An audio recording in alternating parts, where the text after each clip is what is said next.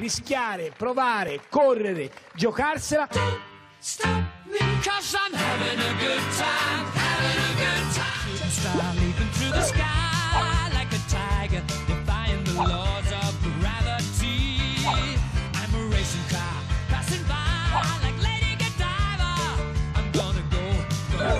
Il caso Renzi, capitolo 1. Finanziamento illecito. Sotto indagine della Procura di Firenze ci sono 3,5 milioni di euro che la Fondazione Open avrebbe raccolto dal 2014 al 2018. La tesi della Procura è la Fondazione era di fatto un'articolazione del PD, dunque chi donava stava finanziando un partito aggirando in questo modo la legge. 92.000 pagine d'inchiesta, oltre 3 milioni e mezzo di euro passati al setaccio e 15 indagati. La Procura di Firenze ha chiuso così l'inchiesta sulla Fondazione Open.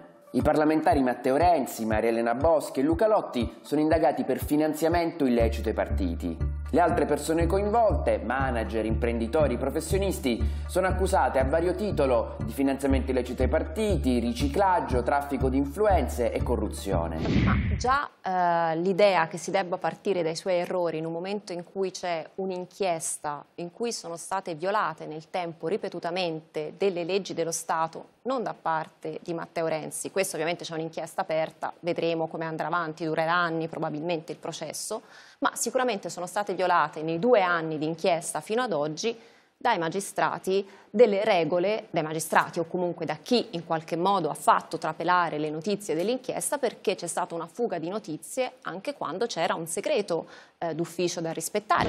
I PM mettono a fuoco anche alcuni episodi specifici, come l'affitto di un aereo privato usato da Renzi per volare da Roma a Washington nel giugno del 2018. Quel volo è costato alla Fondazione Open 130.000 euro. Please welcome the former Prime Minister of Italy, the Honorable Matteo Renzi. Renzi può così commemorare Robert Kennedy.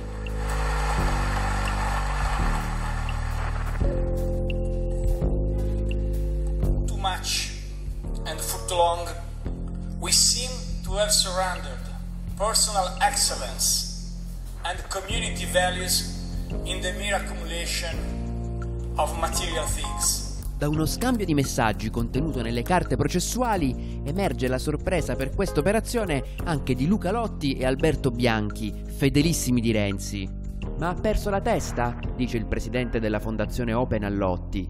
E l'ex ministro risponde: Non ho parole, io gli ho detto che senza copertura non si può. Questo episodio, secondo la Guardia di Finanza, rivela la preminenza di Matteo Renzi rispetto agli impegni economici di Open. Per quanto riguarda, per quanto riguarda il forcaiolismo e il giustizialismo a rendere queste cose, tutti lo fanno a turno e tutti si scandalizzano a turno, quindi non avranno ah, la mia solidarietà anche quando c'è qualcosa di particolarmente scorretto, perché io voglio solo ricordare che Renzi ha votato l'autorizzazione a procedere per, per l'ex ministro degli interni, voglio solo ricordare per quanto riguarda i giornali il caso Morisi. E quindi qui nessuno ne può dare al fatto lezioni su, sulla, sulla, realtà per cui si prendono magistra, dalla magistratura le carte e si sbattono in prima pagina. No, Lo fanno tutti. Se sono eh, eh, documenti che sono eh, pubblici in quanto sono a disposizione di tutti,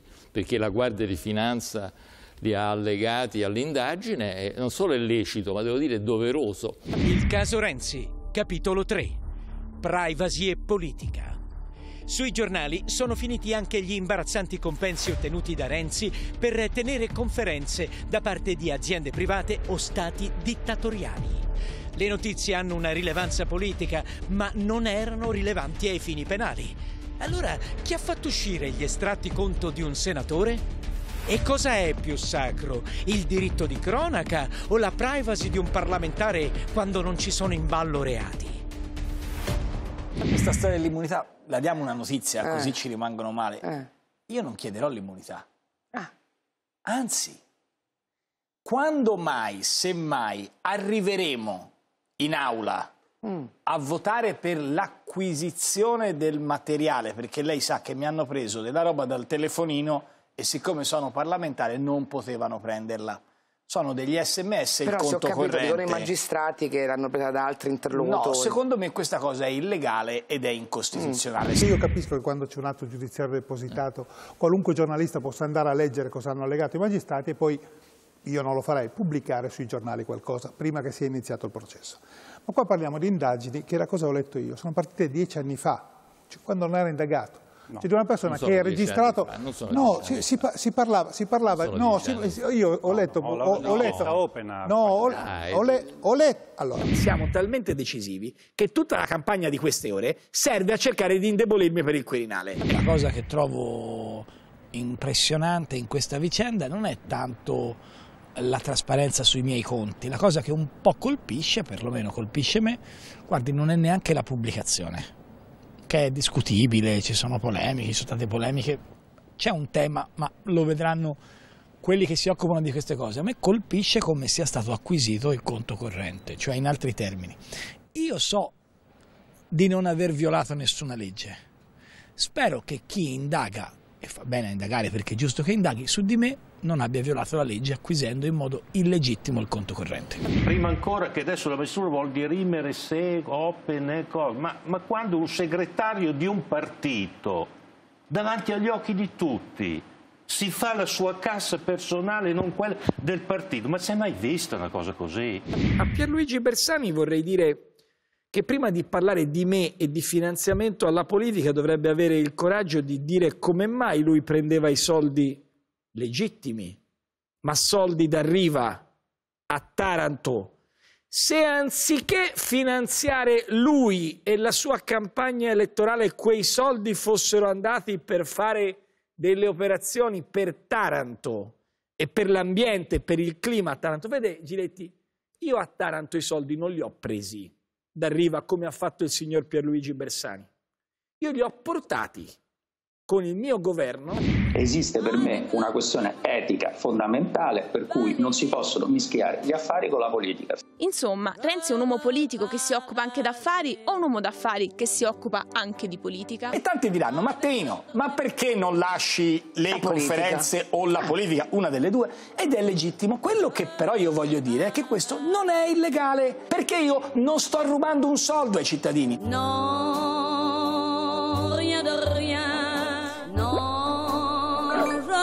regrette rien. Ni le bien qu'on m'a fait, ni le Dalle carte degli investigatori sono emersi anche i compensi non oggetto di indagine e quindi legittimi di Matteo Renzi. In totale dal 2018 al 2020 il senatore ha guadagnato oltre 2 milioni e mezzo di euro. Buona parte di questi compensi derivano dalla sua attività di conferenziere. In questo caso la questione non è penale, ma è di opportunità politica. Eh, le regole eh, del Senato consentono che uno quando è senatore eh, faccia il conferenziere, il- non so se si è previsto anche che faccia No, il lobbista, ma insomma, che idea si è fatto lei professore? Sono fatti di Renzi, se, se gli danno milioni per una conferenza, beato lui. Anche se è un senatore della Repubblica pagato con i soldi dei contribuenti? Beh, eh, perché un senatore della Repubblica, anch'io facevo conferenze quando ero deputato, soltanto che mi davano Ma anche 100.000 farsi, pagare da un uno, milione. anche farsi pagare da uno Stato straniero, una- uno- un regime dittatoriale, non so. No, no, no. che- Sono fatti i suoi, cosa, cosa c'è? Chiaro. Per le sue conferenze, per la sua attività di public speaker riceve dei compensi da enti, stati esteri, tra cui anche quello saudita, lo ricordiamo. Le chiedo, è opportuno secondo lei? Io non ho mai violato le regole. Rispetto alla questione diciamo, di opportunità che lei pone, eh, è evidente che finché ci sarà la possibilità di fare eh, l'attività di public, public speaking e finché ci sarà eh, da parte mia un ruolo non di membro del governo, io continuerò a fare ciò che la legge consente. Il punto è che lui è in carica e, e nel mondo chiunque sia in carica non fa le conferenze. Ha dato un altro colpo, questo è il fatto, a- per la gente la credibilità della politica, perché quando passi dal 40 eh, all'1 e passi da fare il Presidente del Consiglio a fare un po' di agitprop per l'Arabia Saudita, eccetera, queste cose qui, È una disillusione della politica, è un colpo alla credibilità della politica, l'idea che la politica abbia qualcosa a che fare con la coerenza, con la serietà, con la linearità, con la moralità. Da un punto di vista politico è inaccettabile dal punto di vista di opportunità etica, come lo vogliamo. Innanzitutto è inaccettabile che non ci siano leggi di conflitti di interessi ancora in Parlamento e lui lo possa fare, perché lui è vero che lo può fare. Perché alla Camera e al Senato in Italia non ci sono leggi che impediscono a un senatore di prendere soldi da ehm, enti eh, finanziati da fondi sovrani esteri. Però Questo quello- non c'è. Spiegai allora che chi sta al governo non può arricchirsi perché ha un'indennità fissa per legge e fa Invece solo chi questo. sta al Senato, chi sta sì. in Parlamento, chi sta nelle istituzioni può- ha delle incompatibilità. Il parlamentare europeo, lei lo sa bene perché ha fatto la parlamentare europea, non può fare altre cose. Perché il nostro Renzi invece persiste secondo te? Eh, adesso non può più, perché ammetterebbe di aver fatto un errore etico gigantesco e quindi si arrampica sugli specchi, così come si è arrampicato sugli specchi quando ha detto alla, alla- alla tua collega eh, sì, io ho detto che non bisognava arricchirsi con la politica, i politici che si arricchiscono evidentemente c'è qualcosa di strano, ma io lo dicevo soltanto per chi al governo è una sciocchezza. Il parlamentare italiano può fare l'architetto, l'avvocato, il professionista. Nel mio caso faccio delle conferenze all'estero su cui pago le tasse e contribuisco alle casse dello Stato. Ora, Beh, ci mancherebbe altro che vogliamo- non paga le tasse, mi scusi adesso. No, perché se no mi dice che co- come... No, questo lo dico così. Se era, una, se era una battuta non ha fatto ridere. Io pago le No, tasse, non le era una posso battuta, garantire è un dato di che fatto. molte, Paghiamo le le posso tasse, tutte le garantire, persone per le bene posso le garantire tasse. che molte persone che sono stupite da questo oh, grande polemica che c'è nei miei confronti mi chiedono se io, avendo fatto attività all'estero, pago le tasse all'estero. No, ho le tasse come ovvio in Bene, Italia, ho la società in Italia. Questo perché uno che fa attività all'estero può pagarle all'estero, quindi lei che ha una cultura internazionale a differenza Sì. di altri sa che cosa mi Sì, riferisco. e conosco molto Vengo- bene anche l'Arabia Saudita, per esempio, Benissimo. una dittatura che non rispetta né i diritti delle donne né Io quelli degli uomini né quelli dei sui dissidenti temi dell'Arabia. e lei Sono- sta sul libro paga dell'Arabia Saudita, però It's a great pleasure and honor to be with the great Crown Prince uh, Mohammed bin Salman. Thank you so much for this opportunity.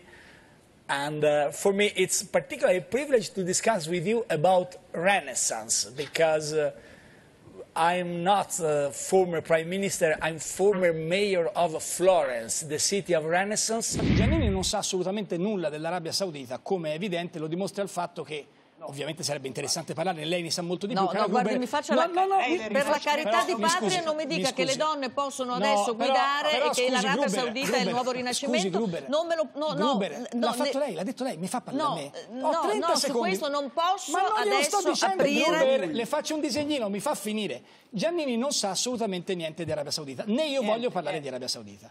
Giannini pone un tema etico su di me e dice che le persone che fanno politica hanno dei doveri etici e morali diversi. Infatti devono presentare la loro dichiarazione dei redditi, dire quante case hanno, come fanno. Quello che è fondamentale dire è che nel mio caso hanno preso in modo illegale, con un hackeraggio di Stato, il conto corrente. Detto questo, quello che dico a Giannini è che per me la politica... fuori che lei eh, si fa pagare dall'Arabia Saudita. Era già o- fuori, eh, Gruber, appunto, e allora qual è, trasmi- allora Gruber, qual è il Gruber, punto? Mi Gruber, scusi Renzi. cioè lei, le svelo un segreto, perché lei ci ha fatto due trasmissioni No, in non ci ho fatto due trasmissioni Sì, perché lei è molto io. importante, ma non No, così importante. Gruber, ma sicuramente trasmissioni c'è un dedicate. problema di Oh, etica mia, in Gruber, politica di fronte lei- a queste allora, cose. sulla Allora, io però vicenda dell'Arabia si era già detto. Finisco sulla, sulla questione politica, visto che si è parlato di tutto tranne che di politica.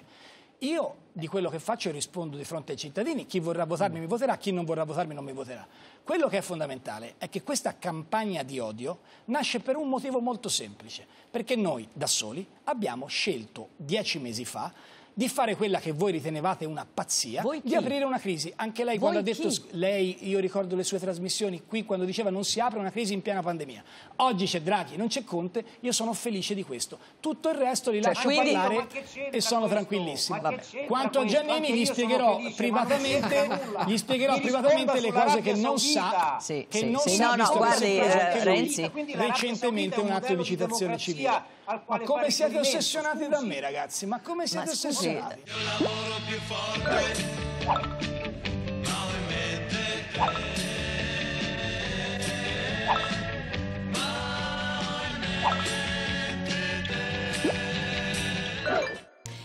Marco Travaglio, tu oggi scrivi che c'era un piano dello staff di Renzi del 2017, quindi post eh, referendum che lei senatore eh, ha perduto, per distruggere te e altri colleghi e i 5 Stelle. Cosa c'era esattamente dentro questo piano? Io lo scrivo perché cito testualmente, tra virgolette, quello che c'è scritto in questo piano, che viene inviato da Fabrizio Rondolino, giornalista, collaboratore dello staff eh, renziano in quel periodo, a Renzi. Eccoti un primo appunto sulla struttura di propaganda antigrillina che ho preparato con Simona in questi giorni. Simona è la moglie di Rondolino, che è una nota produttrice televisiva che lavora molto con la RAI. Simona Renzi Ercolani. pochi minuti dopo inoltra questa email a Marco Carrai e eh, in questa email c'è un documento in cui si racconta come deve strutturarsi questa eh, diciamo, agenzia eh, di informazione o di disinformazione a seconda dei gusti eh, per eh, non tanto riconquistare l'elettorato grillino ma per spingerlo a non votare più. Non dobbiamo controargomentare sulle loro proposte, dobbiamo distruggere chi le ha avanzate. Inchieste giornalistiche documentate, ovvero secondo lo stile del fatto, allusive e intrinsecamente diffamanti. Character assassination, notizie, indiscrezioni, rivelazioni mirate a distruggere la reputazione e l'immagine pubblica di Grillo, Di Maio, Di Battista, Fico, Travaglio e Scanzi. È necessario un investigatore privato di provata fiducia. E allora, eh, Teresa, denigrare l'avversario scavando nella sua vita privata, colpendolo sul personale, è un'arma lecita nella lotta politica? È una cosa terribilmente dannosa. Il caso Renzi, capitolo 2. La macchina del fango. Stando alle carte della Procura di Firenze, gli uomini di Matteo Renzi dentro la Fondazione Open avevano intenzione di mettere in piedi una sorta di macchina da guerra per la comunicazione politica. Da un lato, organizzando un sistema di diffusione dei contenuti di Renzi in rete e sui social, dall'altro, arruolando giornalisti e investigatori per scovare e diffondere notizie scomode sugli avversari politici. La bestia renziana ha agito davvero? Sostanzialmente oggi si vince quando si delegittima l'altro, non quando convinci l'elettorato, convinci l'opinione pubblica eh, sulle tue argomentazioni, a stare dalla tua parte. E l'obiettivo oggi è impedire al tuo avversario di avere ascolto. Non, non è l'obiettivo di smontare le sue teorie, la sua visione. O convincere le persone a tua volta. Esattamente. L'obiettivo è vincere. Mi colpisce questa ossessione per la comunicazione. Eh, c'è un politico che è stato premier, segretario del Partito Democratico, stato, ha preso il 40%, eppure non ha mandato al diavolo un altro giornalista, Fabrizio Rondolino, che gli aveva preparato un appunto dicendo dobbiamo eh, organizzare campagne contro gli avversari, assoldiamo investigatori eh, privati. È l'ossessione